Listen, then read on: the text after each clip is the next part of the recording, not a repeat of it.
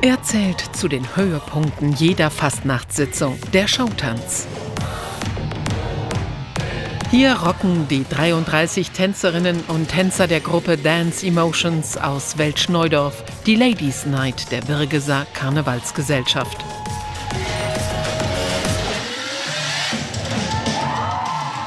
Doch was ist Showtanz eigentlich? Showtanz ist die jüngere Schwester vom Gardetanz und wird nicht nur auf Karnevalsbühnen, sondern auch bei den Wettkämpfen der Karnevalsverbände getanzt. Anders als bei Gardetänzerinnen, die in uniformartigen Kostümen und Hüten tanzen, die an die Fastnachtsgarden erinnern, spielen bei Schautänzen fantasievolle Kostüme eine wichtige Rolle. Und die Bewegungen sind freier, kommen auch aus Jazztanz und Modern Dance. Passend zu ihrem Tanz Highlander, die Schlacht der Clans, verwandeln sich die jungen Frauen und Männer von Dance Emotions in schottische Krieger. Stundenlange Vorbereitungen sind dafür nötig, aufwendiges Schminken und ausgefeilte Kostüme. Wir haben natürlich äh, viel ausprobiert. Da war die Schürze am Anfang noch kariert, dann äh, war das aber zu bunt und zu viel. Und ähm, so haben wir dann durch viele Besuche bei der Schneiderin irgendwann dann ähm, genau das Kostüm so uns ausgedacht, wie es jetzt ist. Und dann kam immer mehr dazu und dann noch Schulterpolster und noch Fell und noch Pailletten und dass es noch ein bisschen glitzert und funkelt. Und so ist dann nach und nach mit vielen kreativen Köpfen dann das Kostüm entstanden.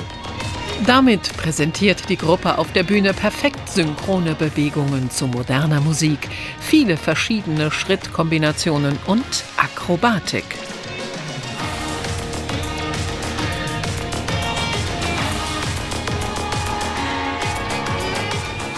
Auf dem Maßstab, wo wir das eigentlich dann machen, kann man schon sagen, das ist Leistungssport. Deshalb fahren wir zu Turnieren, deshalb fahren wir zu Meisterschaften. Und ja, da muss man gucken, dass man gut warm ist, dass man gedehnt ist und dass man dann halt auch die Leistung, die man dann auf die Bühne bringen will, dann auch tatsächlich erreichen kann. Und das ist sehr viel Arbeit und das ist sehr viel Schweiß und manchmal auch Tränen.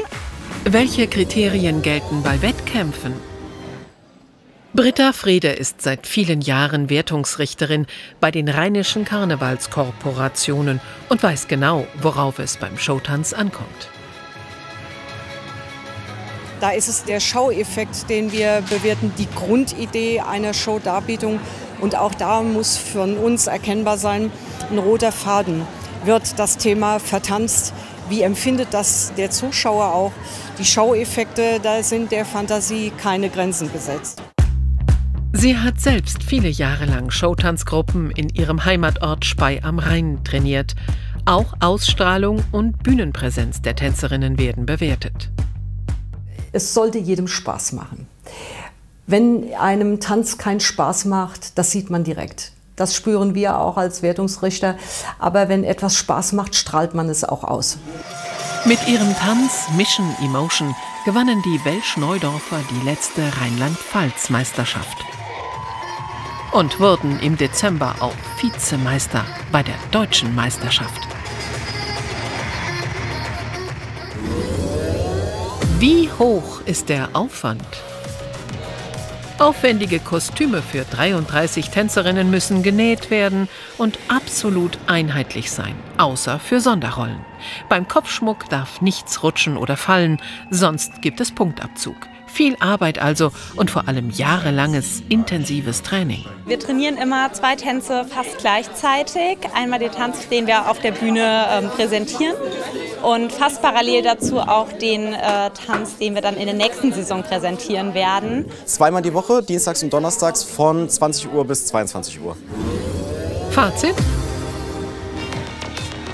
Showtänze haben sich fest im karnevalistischen Tanz etabliert. Kein Wunder, peppen Sie doch jede Karnevalssitzung mit Fantasie und tänzerischem Können auf.